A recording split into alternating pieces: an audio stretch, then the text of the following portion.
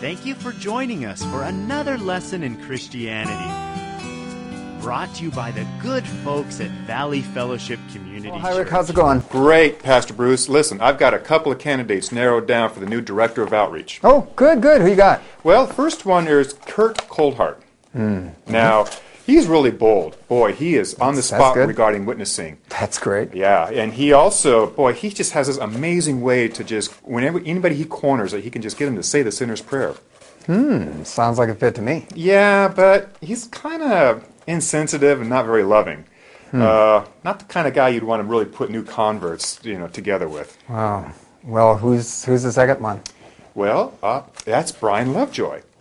Yeah. Now he and his wife Sally, they, uh, boy, they're already in, involved with the rescue mission ministry. Oh, that's good. Outreaching Yeah. out already then. absolutely. And then they also, boy, they even take people into their homes, and they're real generous, and they're very gracious and loving as well. Oh, that sounds And good. here's the great part: they're perfect tithing records. Really? Yes. Really? Well, I'm saying let's go for it then. Well, we got one problem though.